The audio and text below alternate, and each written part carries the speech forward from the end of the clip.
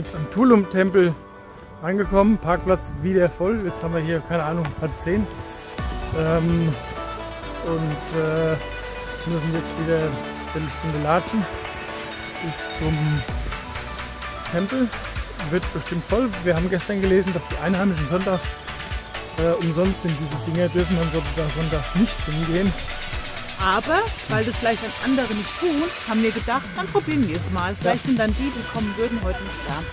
Und zumal die Zeit ist ja auch begrenzt, wir können jetzt nicht nur mal drei Tage warten, weil dann geht es wieder weiter. Und voll ist eh immer.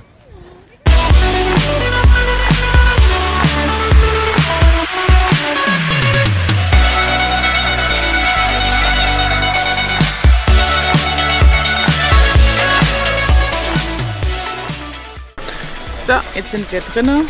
Hat gut geklappt. Also diesmal haben sie uns unser Stativ gelassen, haben uns auch das Mikro gelassen. Obwohl ich vorher gelesen habe, es kostet alles extra, wenn man was mit reinnimmt. Also das ist irgendwie keine Ahnung, von was die das abhängig Und machen. diesmal richtig günstig, 3 Euro, 80 Pesos.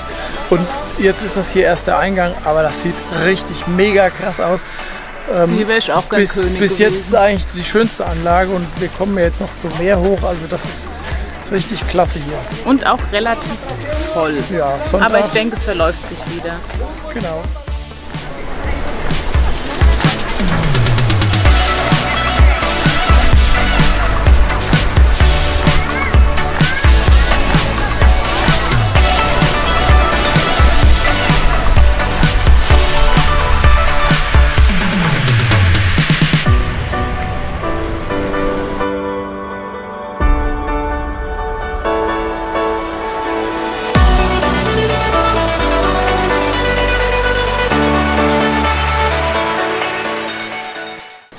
Noch ein bisschen Klugscheißer wissen.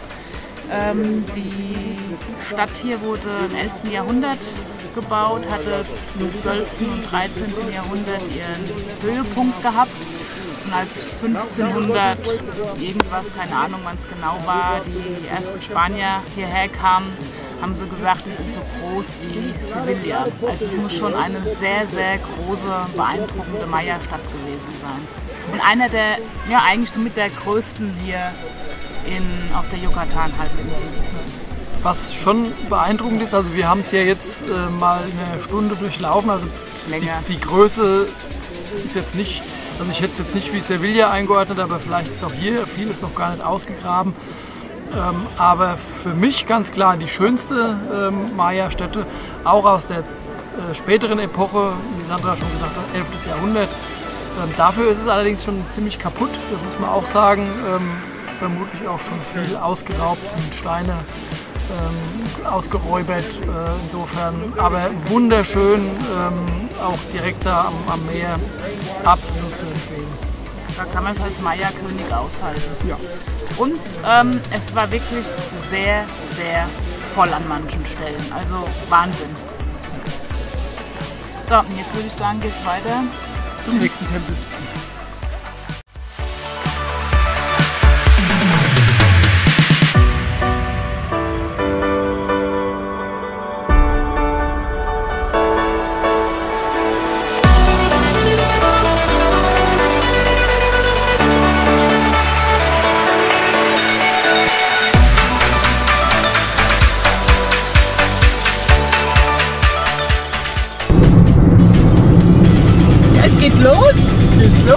Geht schon wieder los. Geht schon wieder weiter. Ich kann es noch nicht aussprechen. Wir, Wir fahren fahren- zur Lagune. Chunjakche. Genau. Und dort soll es auch wieder logischerweise einen Tempel geben, eine Lagune. Und da lassen wir uns jetzt mal überraschen.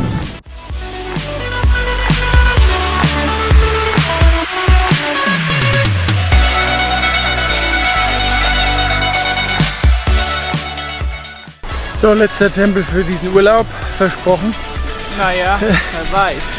Doch, der liegt aber auf dem Weg, deswegen haben wir noch mitgenommen. Der heißt Mutschil, glaube ich, die Anlage Mutschil.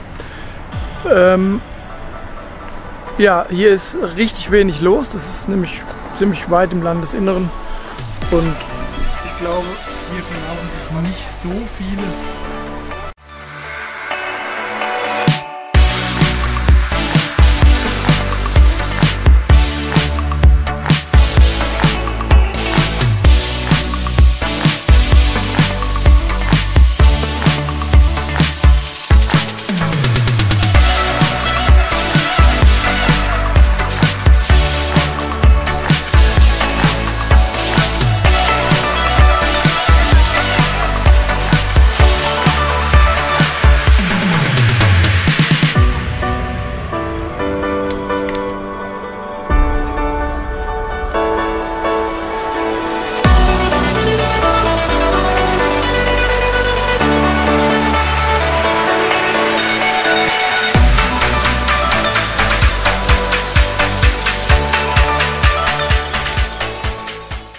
So, jetzt geht es hier nochmal weiter zu einer Lagune. Da haben sie natürlich nochmal extra 50 Pesos aufgerufen, also nochmal 2 Euro. So kann man es natürlich auch machen. Aber die Lagune, deswegen sind wir auch hierher gefahren, die wollen wir uns jetzt auf jeden Fall nochmal angucken. Und die Landschaft hier ist auch echt super, mitten im Dschungel. Fehlen jetzt nur noch die Affen. Mückenspray nicht vergessen, ganz wichtig. Genau, und Sonnencreme. Da geht jetzt ein Turm hoch. Sandra hat gesagt, ich soll den Autoschlüssel und die Wertsachen da lassen, falls ich da runterfalle. Ja. Ich muss ja gucken, wie ich heimkomme. Das ist hohe mexikanische Baukunst. Da mache ich mir überhaupt keine Sorgen, dass ich da mein Leben wieder runterkomme.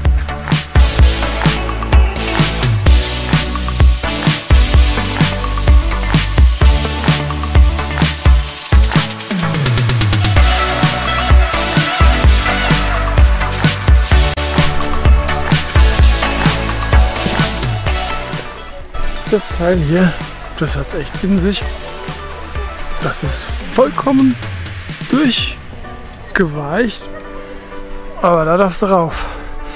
Aber hier auf keinen dieser Tempel, da darfst du nicht rauf. Aber hier darfst du rauf. Lebensgefahr. Aber egal.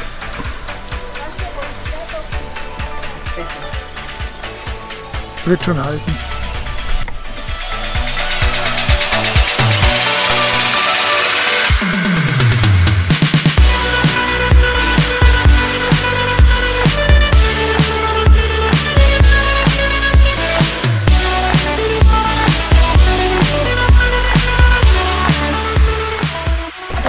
So, ich bin wieder heil runter vom Turm.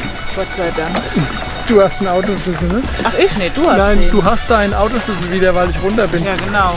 Ich muss ja heimkommen. Ähm, ja, hier sind wir jetzt an der Lagune. Das Wasser, das sieht da hinten auch ziemlich interessant aus. Da kann man jetzt noch eine Bootsfahrt machen.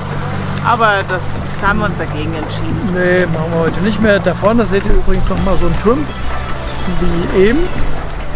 Der ist jetzt allerdings Das sieht um einiges besser aus. zu.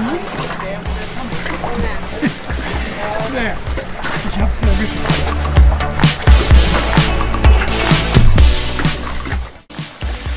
So, vierter Tempel in vierte Tempelanlage in drei Tagen. Ähm, ja, war jetzt die letzte, würde ich sagen. Ähm, Fazit, ja, die Maya, die sind, das ist schon ein beeindruckendes Volk. Und ähm, man kann jetzt nicht sagen, wenn man eine gesehen hat, hat man alle gesehen. Irgendwie waren alle irgendwie anders. ne? Die hier war sehr, finde ich, mystisch gewesen, weil du siehst hier die Natur, holt sich alles zurück. Bäume wachsen schon Ja. wieder aus den Felsen, das war schon ziemlich cool. Und diese Lagune hier, ja, die kostet nochmal 2 Euro extra, aber ich glaube, das kann man sich sparen. Das ist nicht wirklich War nett, aber ja. da. Aber jetzt geht es erstmal wieder zurück ins Hotel äh, und den Nachmittag gechillt am Strand ausklingen lassen. Noch ein Klugscheißer wissen, Achtung, es soll noch Meyers geben. Meyers? Meyers. Die Meyers, ja, die Meyers gibt es auch, aber die Meyers. Die Meyers gibt es noch. Daher kommt vielleicht der Name Meyer.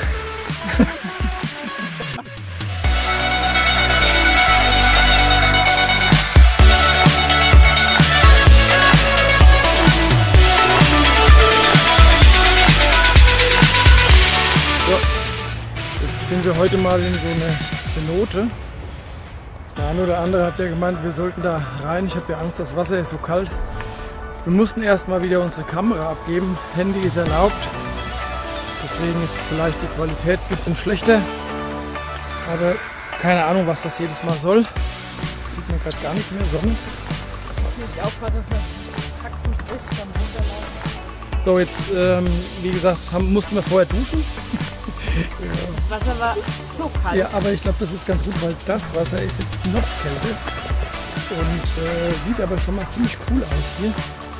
Ich zeig euch das mal.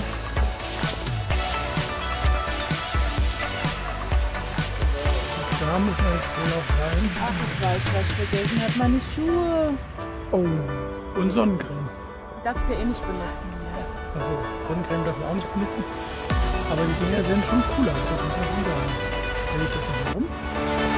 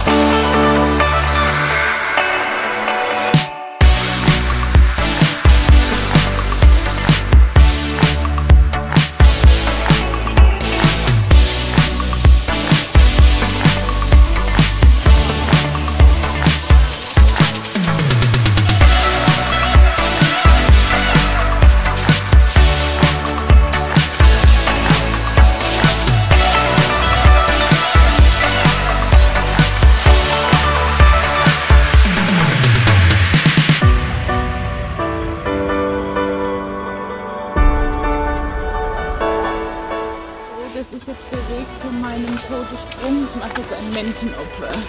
Ja, die Sandra hat noch nicht die Schnauze voll. Doch. Noch einmal runterspringen. Ich hab bin Angst. gespannt. Denkt die Sandra noch mal den Todessprung. Mal gucken, ob sie wieder schreit. Konzentration.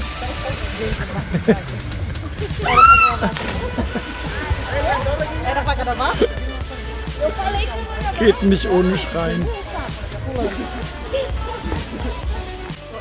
Jetzt sind wir einmal durch die Synode. War ziemlich cool, auch super schöne Anlage. Ähm, ein bisschen Angst bei dem einen oder anderen Sprung dabei.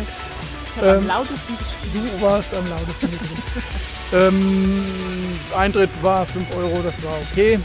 Ähm, Hagen kostet. Hagen kostet nichts und ähm, das war jetzt zumindest der Abschluss für uns in Tulum. Wir werden dann morgen nochmal weiterziehen nach Cancun, werden uns da oben auch nochmal ein bisschen umschauen und ähm, jetzt werden wir den Teil 4 zusammenschneiden.